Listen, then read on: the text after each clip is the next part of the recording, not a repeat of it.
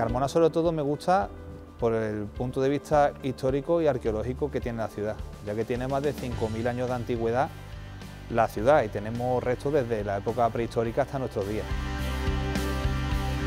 Un buen ejemplo de cómo avanza el turismo en la provincia es Carmona.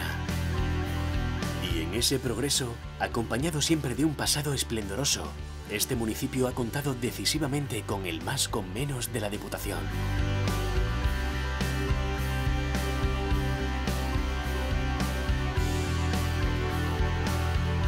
Más obras en la recta final, que han permitido invertir en la mejora de calles, plazas y edificios municipales, que remozan la ciudad turística por antonomasia de la provincia.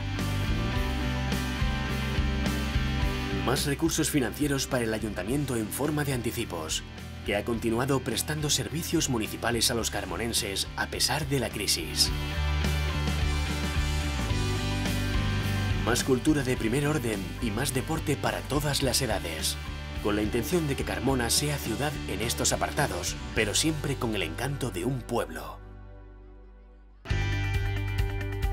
Y cómo no, más apoyo a las empresas y al empleo en este lucero de Europa. Invirtiendo desde Diputación en infraestructuras que mejoren las zonas industriales y propicien un mejor entorno para la actividad económica. Es muy cómodo vivir en esta ciudad por la cercanía en la que se encuentran todos los puntos a donde tengas que ir, tanto el ayuntamiento como el colegio para los niños. No hace falta casi usar medios de transporte. Todo sin descuidar lo que más importa, las personas que más han necesitado de las coberturas sociales en estos cuatro años. De ellos, también se han ocupado diversos programas de la Diputación que han tenido reflejo directo en Carmona.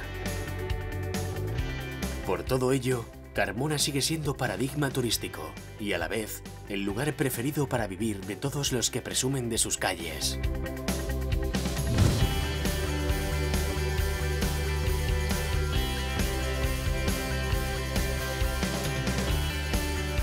La gente súper cercana y súper cariñosa y bueno, pues poco más te puedo decir del pueblo. Simplemente que quien quiera que venga a visitarle quedan invitados.